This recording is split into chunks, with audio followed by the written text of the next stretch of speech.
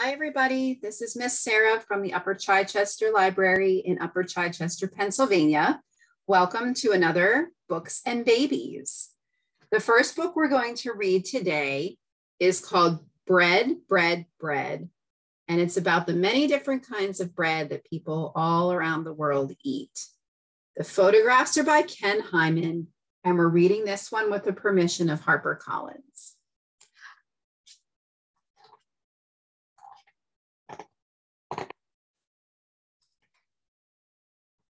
People eat bread all over the world.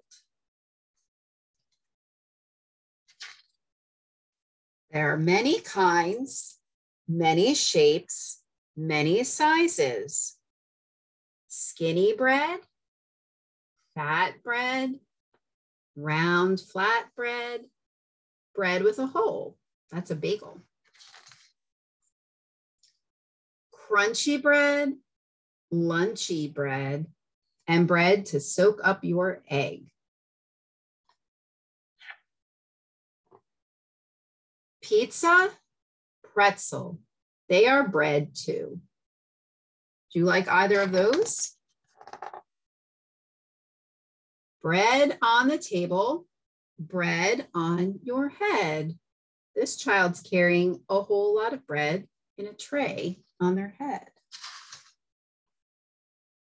Bread is good for you. It helps you grow. It makes you strong. And it tastes pretty good too. Making bread, shaping bread, baking bread. Imagine how good that smells. One second. There we go toasting bread over here and cooking bread over the fire. That's a kind of bread called a tortilla. Well, this book has hard to turn pages. Here we go. Fill up the basket off to the market. They're going to sell the bread they made. Here we go bread for sale. He's selling his off of a cart. There's some in the window of a store. And here's some in a basket. Breaking bread together, sharing a meal that has bread as part of it.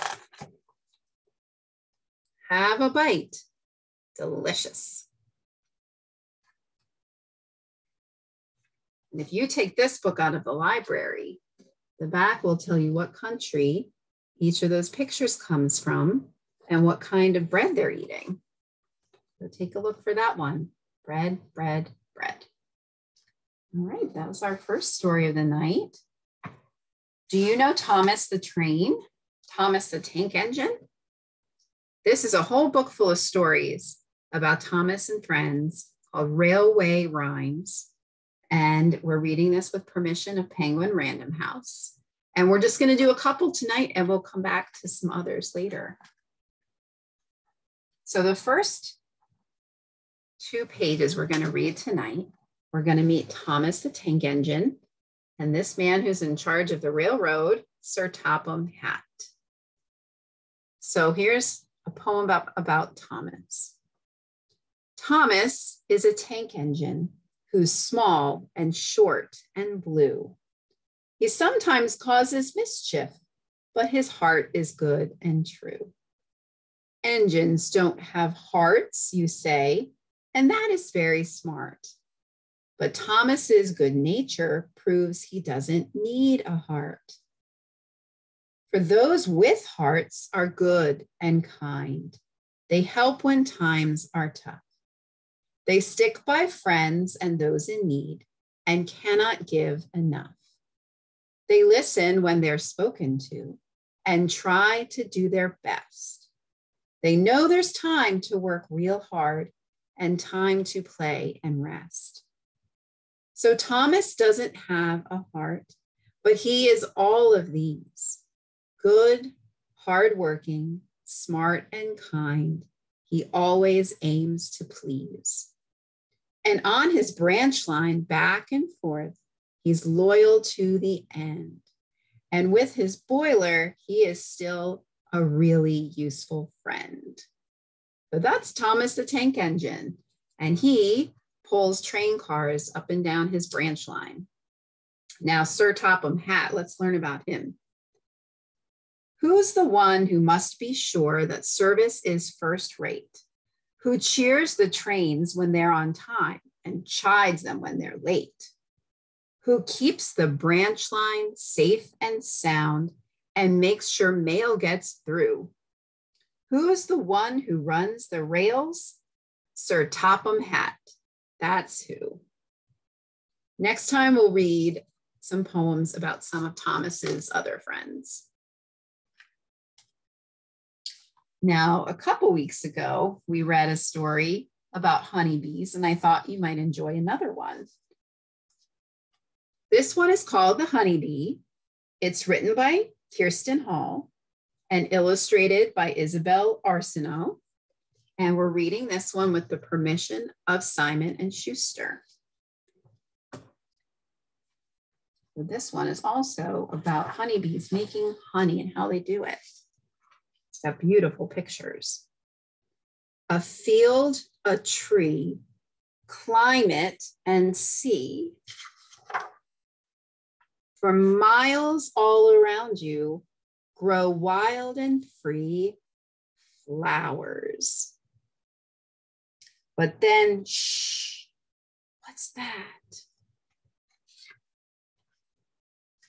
Do you hear it? You're near it. It's closer. It's coming. It's buzzing. It's humming. What could it be? All these flowers. A bee. Isn't he cute? Cute bee. Four tiny wings they buzz and they sing. They're clapping and flapping. The busy bees lapping. Lap, lap, lap, flies around. Tap, tap, tap. Searching, perching. This is the flower the bee has chosen. This is the flower the pollen grows in. This is the flower, its color so bright. Its sweet blooming scent calls the bee from its flight. Such a long trip. It's time for a sip. Sugary, watery nectar. That's a kind of juice that flowers make that bees love to drink. There now, it drills now. The bee sips and spills now. There now, it swills now. It sits oh so still now. There now, it fills now. It's back to the hill now. More pollen, more nectar. It's mealtime. Buzz, buzz. Buzz, buzz, a crowd, swarming and teeming and loud, flapping, flying, landing, prying, all of this nectar, it's ours, it's ours.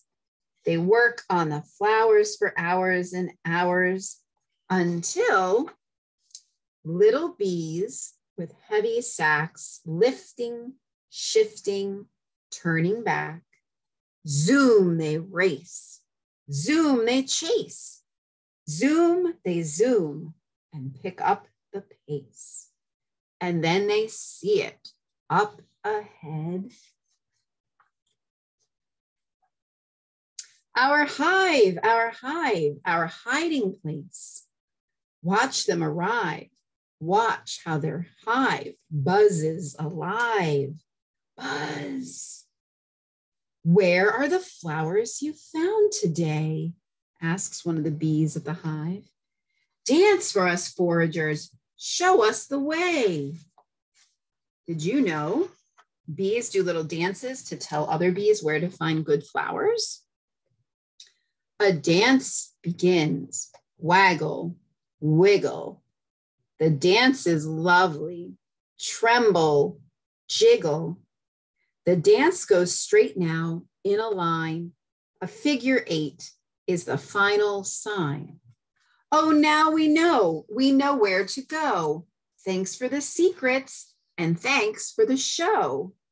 New foragers leave on a searching mission while house bees march forward with hungry ambition. Those house bees are going to start making the honey out of the nectar. Chew, chew, that's what we do.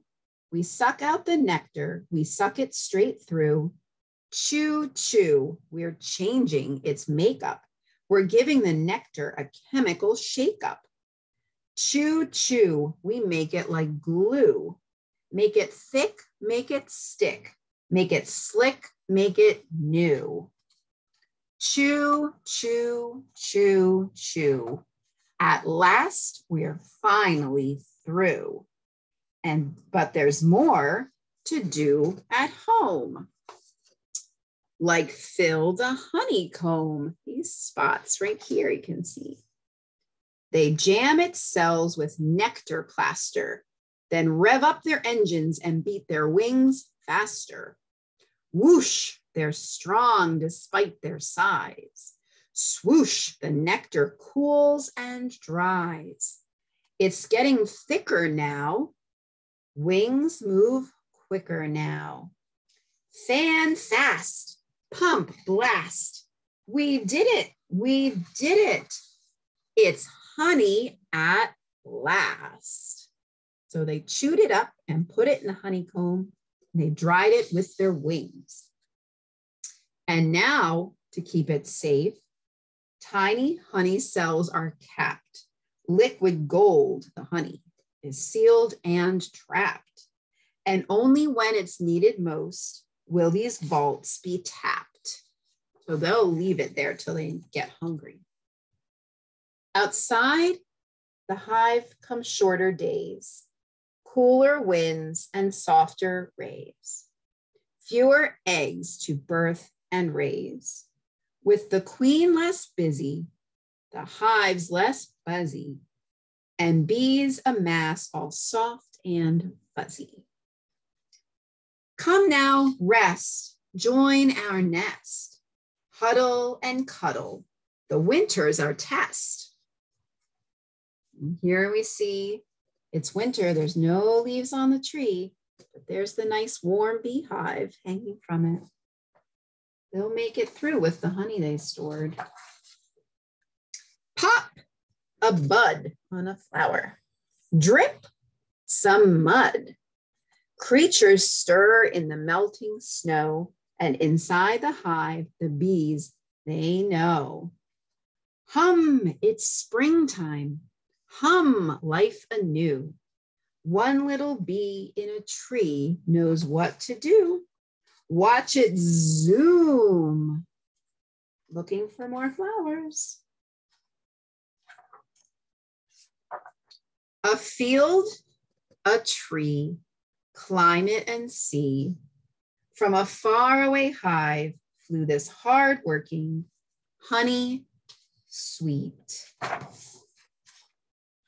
be. They're going to do it all over again and make more honey to store up for the next winter. Isn't that nice? All right, today we're going to read one last story. This one is a bedtime story or a nap story. This one's called Good Night, Little Grover.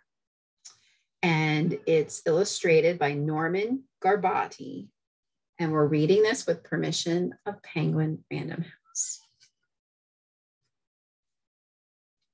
Time for bed, Grover. Heading upstairs. Grover cannot go to sleep without his bedtime story. Or his drink of water. Do you get any of those things before you go to bed? Do they help you go to sleep? Or his nightlight.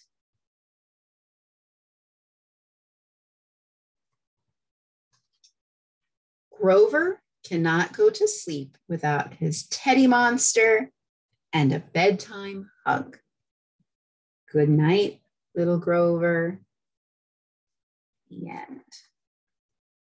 I hope you'll come back next week and watch a few more stories that we get to share together. Thank you for being here today. Have a great week.